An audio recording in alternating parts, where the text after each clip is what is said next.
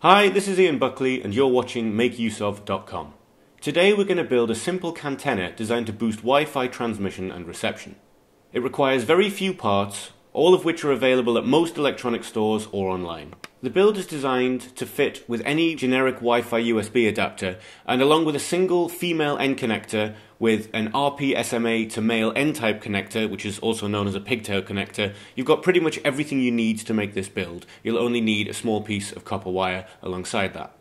The article on the Make Use Of website provides a tool which will show you how to measure your can to make sure you place everything in the right place to get the most out of your build and we will also cover how to solder and measure your probe, which is the heart of the Cantenna which does all of the transmission or receiving.